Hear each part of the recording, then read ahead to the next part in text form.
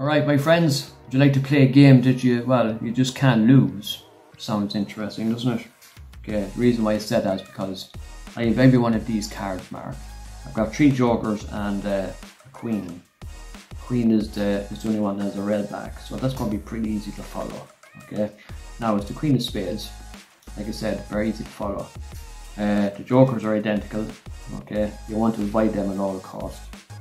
I'm going to make it very fair. I'm actually going to remove one of the jokers. Okay, toss it off to one side. You just work with two jokers and a queen. Now, my question to you guys is, which card is lying right behind that joker there? Is it a joker or is it the queen? Okay, a lot of you might say the queen. Let's have a look and see. Well done, it is the queen.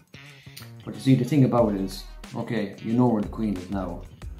But of course, my question, guys, is uh, where's the queen of spades?